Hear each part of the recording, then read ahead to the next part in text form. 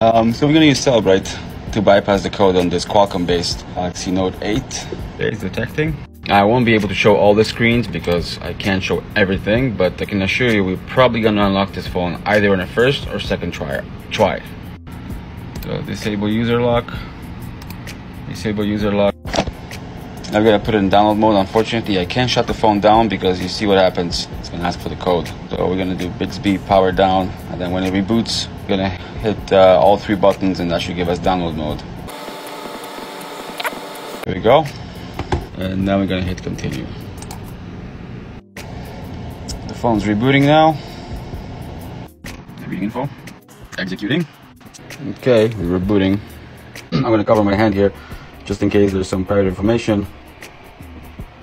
That's a good sign. Phone is starting. And um, yeah, we're in. So we're in the phone. That's how easy it was using Cellebrite.